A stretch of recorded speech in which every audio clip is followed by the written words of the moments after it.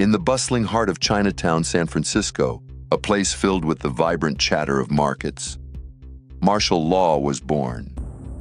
For the people living there, it was a busy life, a ceaseless fight for survival that defined the families living day to day. Law's parents immigrated to America with dreams of opportunity, hoping to escape the harsh realities they once faced. They poured their energy into opening a small restaurant, believing hard work would bring success. The establishment was modest, a place for locals to gather for traditional food and a sense of familiarity.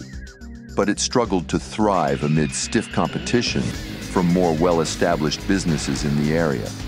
The restaurant's income barely covered the bills, and Marshall grew up painfully aware of his family's financial struggles. While other children spent their afternoons playing, Marshall's childhood was spent helping out at the restaurant. By the time he was tall enough to reach the stove, he was already cooking alongside his mother, chopping vegetables, flipping woks, and greeting customers. He learned to maintain a composed demeanor despite exhaustion or complaints. Yet, amidst the long hours of labor, Marshall found relief in an unexpected passion. Law found his escape in martial arts. Growing up in Chinatown, he was immersed in the cultural legacy of Chinese fighting styles, films, old masters, and stories of heroes who forged their paths through sheer determination. He spent hours captivated by old kung fu movies. Enthralled by the fighter's precision and skill, he began imitating the moves he saw on screen, practicing stances and kicks in his short breaks. At first, it was merely a way to pass the time, a fleeting escape for a boy weighed down by responsibilities. But before long, he realized martial arts was more than just a pastime. For Marshall Law, it felt like freedom.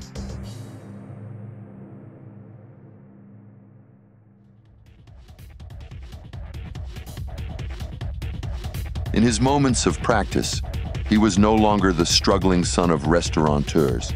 He was powerful, someone in control of his own destiny. Marshall's parents, preoccupied with their struggling business, couldn't afford formal martial arts lessons. But this didn't stop him. He trained by himself. Late at night, after the restaurant closed, he would sneak away to a secluded park, practicing under dim streetlights until his body ached and his hands were raw from striking makeshift targets. Unbeknownst to Marshall, a mysterious old man would watch from the shadows. He was Master Han Yip, a highly skilled retired martial arts instructor who lived nearby. For weeks, Master Yip had observed Marshall's determination, his raw, untamed energy. As Marshall struck at his imaginary opponents, Master Yip stepped into the clearing. 你像一个没有方向的人一样出拳，你有心， 但如果你想学，你需要的不只是力量。The master saw potential in the young man and offered to train him for free. Marshall, initially defensive, began to soften at the man's words. Deep down, he knew he needed guidance if he wanted to improve. He bowed in respect, and from that night on, Master Han Yip took him under his wing. They trained together in the quiet hours after the city had fallen asleep. Under Master Yip's tutelage, Marshall learned discipline, control, and the deeper philosophies of martial arts, the importance of balance in both combat and life. As the years passed, the two grew close. However, Master Yip, who was already very old when he met Marshall, didn't have much time left. He would use the last of his strength to pass on all his knowledge. One evening, after an intense training session, he sat beside Marshall, his breaths shallow. With a faint smile, he told Marshall that his journey as his teacher was nearing its end and that he had given all he could. He spoke of passing the torch, reminding Marshall that it was now his duty to carry forward what he had learned. Shortly after, Master Han Yip sadly passed away peacefully in his sleep, leaving Marshall devastated. but with a profound sense of responsibility and an unwavering commitment to martial arts.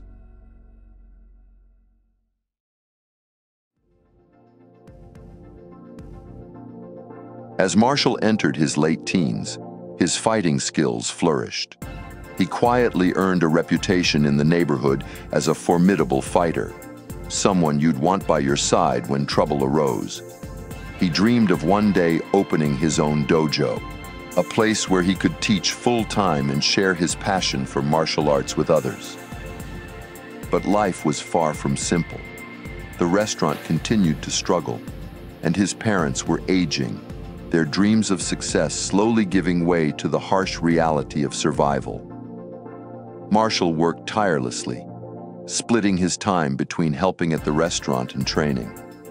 With each passing year, his dream of opening a dojo seemed to drift further away, buried beneath the weight of his family's needs. Eventually, the financial burden became insurmountable, and Marshall's parents made the difficult decision to return to China, leaving behind the dreams they had nurtured. Marshall chose to stay in the United States, determined to make something of himself. He couldn't bear to abandon the place where he had grown up, nor the opportunities, however slim, that still lay before him. In the months that followed, Marshall found himself alone but not without hope. He took on work wherever he could find it often in the same Chinatown restaurants that had once contributed to his family's financial troubles. During this time, he met his future wife, a kind-hearted woman who worked at the same establishments. They found comfort in each other's company, sharing the same understanding of hard work and survival. After they married, they had a child together, Forrest Law, bringing a new sense of purpose to Marshall's life.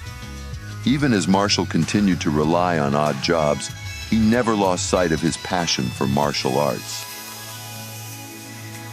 Now in his early 20s, Marshall's life took an unexpected turn.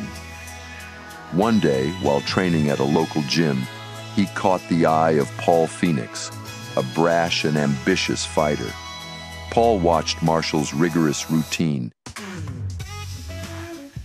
Impressed by Law's intensity and skill, and driven by his desire to test himself against the best, Paul approached Marshall and struck up a conversation.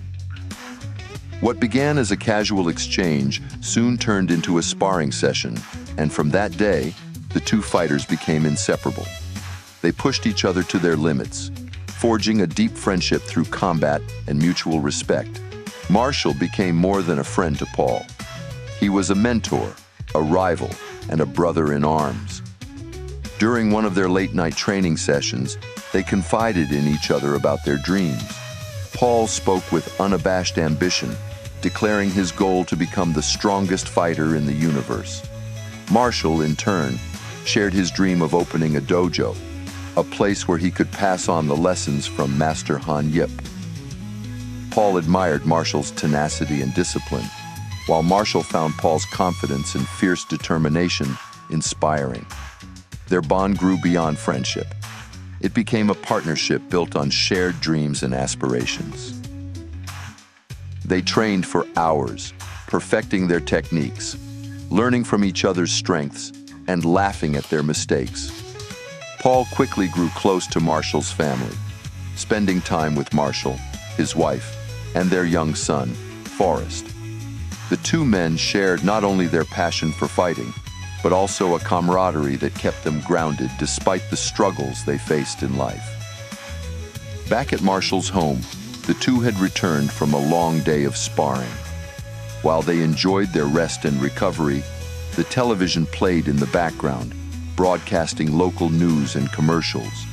Suddenly, an advertisement caught their attention an announcement for the upcoming King of Iron Fist tournament. The screen displayed images of fighters from around the world, each more formidable than the last, and boasted substantial prize money for the winner. Marshall and Paul exchanged a glance, a silent understanding passing between them.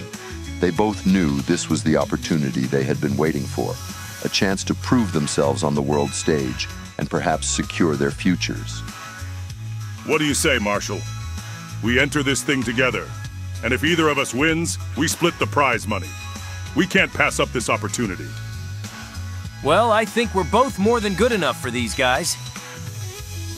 So you up for it? All right. You've got yourself a deal. We'll take on the best, and we'll do it together. There you go. No pain, no gain. I'll be willing to bet that he's gonna be there. Time to settle the score. With a handshake, they sealed their pact.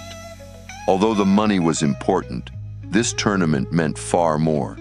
It was about the challenge, the thrill of competition, and the chance to rise above the struggles that had defined their lives.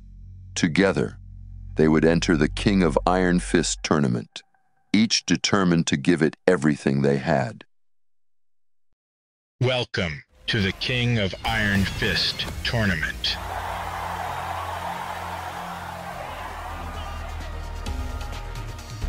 The King of Iron Fist tournament brought together fighters from all corners of the globe, each with their own ambitions and motivations. For Marshall Law, it was an opportunity to prove himself and earn the resources needed to realize his dream of opening his dojo. Determined to make it as far as possible, he would face every challenge head on with the resilience forged in him since childhood. Although he was unaware of it at the time, everything he had been working towards had led to this tournament, to earn his claim to be among the greatest fighters in the world. Marshall's first major matchup in the tournament was against Wang Jinrei, an elderly master with decades of experience and an unassuming but strong presence. Wang Jinrei was a brave old man with a kind heart. A practitioner of Shinrin-Rokugo Ken, he continued to embody generosity and kindness, even while living as a recluse in the Mishima Gardens. Wang was a close friend of Jinpachi Mishima, Heihachi's father, and the two shared a deep bond of mutual respect. After Jinpachi suddenly disappeared, Wang placed his faith in Heihachi to continue growing the Mishima Zaibatsu with honor, unaware of the dark deeds Heihachi had committed. As a former overseas Chinese merchant, Wang sympathized deeply with his fellow countrymen, always striving to uplift those around him while remaining steadfast in his values. However, Suspicious of Heihachi's potential involvement in Jinpachi's disappearance years ago, Wang decided to enter the tournament to observe Heihachi's conduct firsthand. Before the fight began, Wang observed Marshall preparing. The movements were familiar, the precision unmistakable. Wang's eyes narrowed slightly as he approached Marshall. His curiosity piqued. 哪些立场，哪种形式？你是韩血大师训练的吧 That's right. How did you know? 啊，就好像我亲眼目睹了他的表演。他是我的老朋友，老人怎么了 He passed away. some time ago. He spent his last moments passing his knowledge on to me. It was so sudden.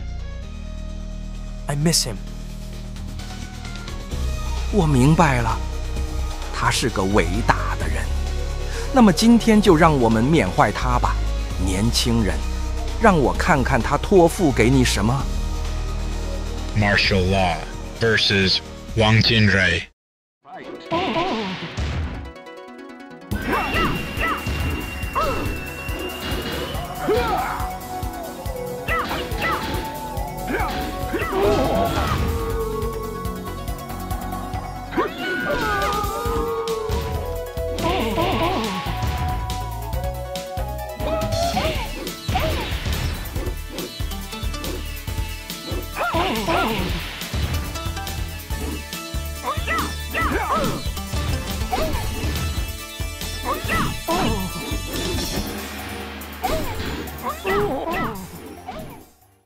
Wang's mastery of his traditional martial arts posed a formidable challenge for Marshall, who was more accustomed to facing raw power and aggression than refined skill and deep wisdom. Wang's movements were calm and deliberate, each attack calculated with precision.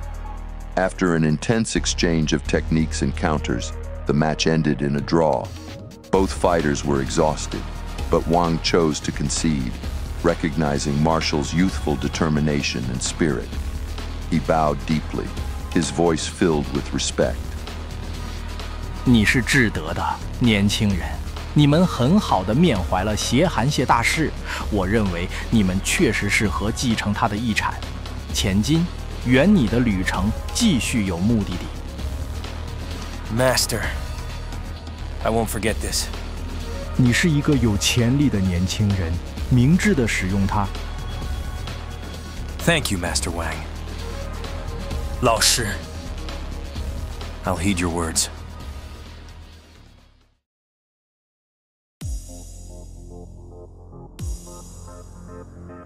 After his victory over Wang, Marshall found himself matched up against none other than Paul Phoenix. The tournament had pitted the two friends against each other, and both men knew there could be no holding back. For Marshall, it was bittersweet. He deeply admired Paul, but only one of them could advance. The battle between Marshall and Paul would be fierce, with each fighter giving everything they had, pushing each other beyond their limits. Their late night training sessions would come to life in the tournament arena, but this time, they weren't sparring. They were fighting to win. Marshall Law versus Paul Phoenix.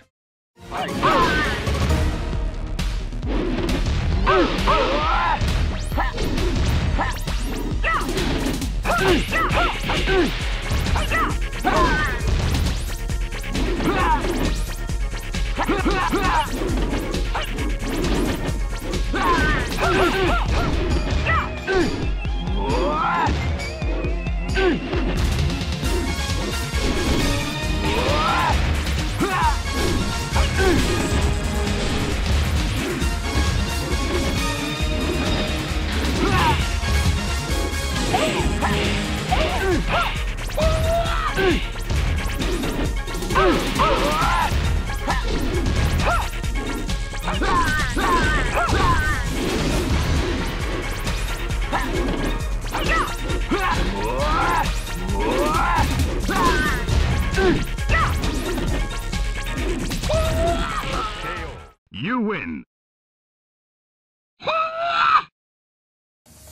Paul's power clashed with Marshall's speed once again. It was an intense match, but despite Paul's strength, this time it was Marshall's resolve to advance that pushed him beyond his usual limits. In the final moments of the fight, Marshall overcame Paul, landing a decisive blow that left his friend unable to continue. How did this happen? I was the one who was supposed to face Kazuya. I'm proud of you, Law. But I can't hide my disappointment. Kazuya was mine to defeat. Fighting's full of surprises, Paul. You're strong, but remember, it's not just about who you fight, but how you fight. But don't beat yourself up. Our fight could have gone either way. I guess. This is your time, Marshall. Keep going. Show them what we're made of. I'll be here for you. Thanks, Paul. I'm glad we're doing this together. Marshall's next challenge pitted him against Nina Williams, a lethal assassin known for her ruthless efficiency and precision, never missing her target. You seem like you're not here to play around. Ready for a real challenge? I didn't come here for games. I'm here for victory. That's the spirit. Let's see what you got. Marshall Law versus Nina Williams.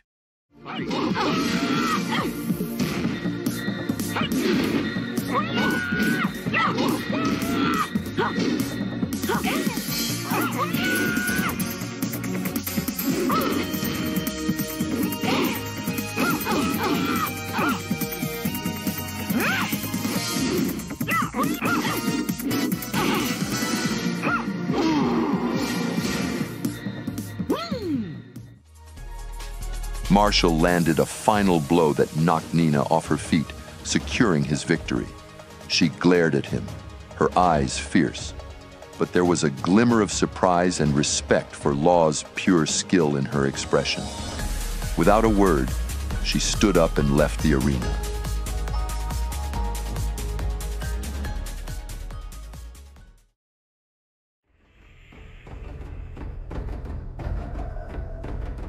The arena buzzed with electric anticipation. After days of intense battles, broken bones, and shattered dreams, the King of Iron Fist tournament had reached its climax.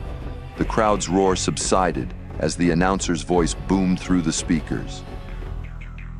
Get ready for the next battle. Ladies and gentlemen, presenting the final bout to decide who will challenge Heihachi Mishima.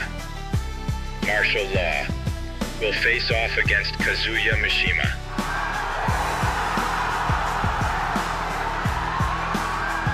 The audience erupted in cheers and gasps.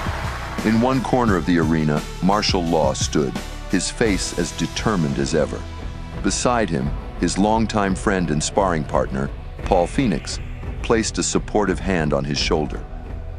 Well, this is it, Marshall. You've made it to the big one. Yeah, one step closer to that prize money. I'll finally be able to open my dojo. Remember, Law, I fought this guy once. He's not like anyone you've faced before. Stay focused. He's different. Different how? More handsome than you? Very funny. But seriously, just be careful out there. I've got a bad feeling about this guy. Look, I appreciate the concern, Paul, but I've got this. I'm fighting for my family after all. Don't worry. You know how good I am. I know. Okay then, go. Show him what the legendary dragon is made of. As Marshall began his final warm up, Paul's expression grew serious. He glanced toward Kazuya, noting the cruel smile playing on the Mishima heir's lips. Something about Kazuya's demeanor sent a chill down Paul's spine.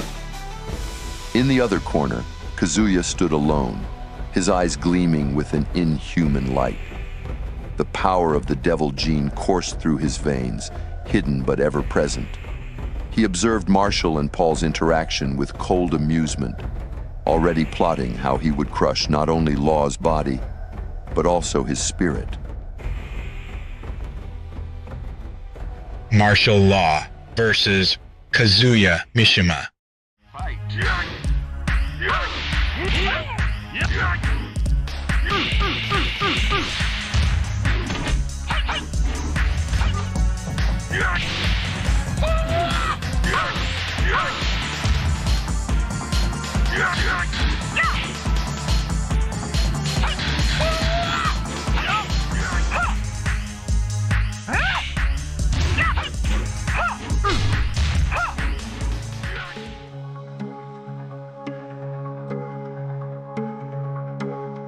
From the moment the fight began, Marshall was on the defensive. Kazuya's strikes were heavy and relentless, his speed remarkable for someone with such power. Marshall fought back with everything he had, drawing on every lesson and every hardship he had endured. He moved with precision, evading Kazuya's attacks and countering whenever an opportunity arose. As the fight progressed, Kazuya's frustration began to mount. Marshall, though clearly outmatched in strength, was relentless and refused to give up. In a moment of anger, Kazuya partially tapped into his devil gene, his eyes flashing with an unnatural red glow. The sudden surge of power caught Marshall off guard, and Kazuya struck with ferocity, injuring him badly. Though clearly defeated and barely able to move, Marshall refused to give up he attempted to stand and continue the fight. Enraged by Law's persistence, Kazuya stood over Marshall, ready to deliver a final killing blow. Just as he raised his fist, a voice suddenly rang out. That's enough! Paul, who had been watching from the sidelines, rushed forward and threw himself between Marshall and Kazuya. With a powerful burning fist, Paul struck Kazuya, forcing him back. Marshall, just stay put for a moment. The medics are on their way. No. It's not over yet. I can still. It is over, Marshall. It's okay. You did good. Paul, you were right about him. He's different. Just rest up. I'll handle him. Kazuya! You tried to kill my friend? You like fighting dirty? Then fight me. We'll settle this right now. You and me, there'll be no draws this time. もう一人前にも戦ったことがある覚えていないよし挑戦を受けようあの老人を自慢する前にあと一戦くらいはどうだ You really don't remember, do you? You won't even acknowledge our fight. I've done nothing but train for this rematch for weeks. I'll finally get the recognition I deserve. I'll force you to acknowledge me. おしゃべりはもう十分だ来い With the tension palpable, the tournament officials didn't dare interfere. Thus, the stage was set for the unofficial rematch between Kazuya Mishima and Paul Phoenix.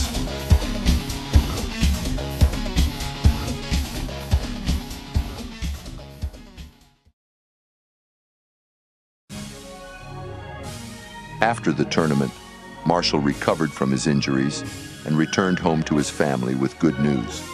Despite not winning, the consolation prize money he earned for progressing as far as he did was enough to provide his family with much needed relief. On top of that, an unexpected blessing arrived a generous gift from Yoshimitsu, another competitor, who had robbed the Mishima Zaibatsu and redistributed the wealth to poor families across many regions around the globe, including Marshall's neighborhood. This windfall allowed Marshall to finally achieve his dream of opening his own dojo. With the funds, he established a training space where he could pass on the teachings of Master Han Yip and provide a better life for his family. For the first time in a long while, the burden of financial struggle was eased, even if only slightly. It was a beginning, a small but significant step toward the future he had always envisioned.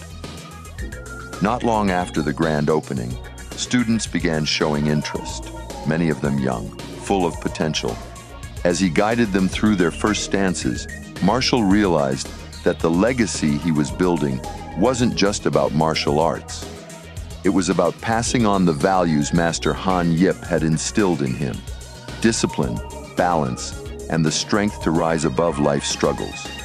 His students didn't know it yet, but they weren't just learning martial arts, they were learning to fight for themselves, for their dreams, just as he had.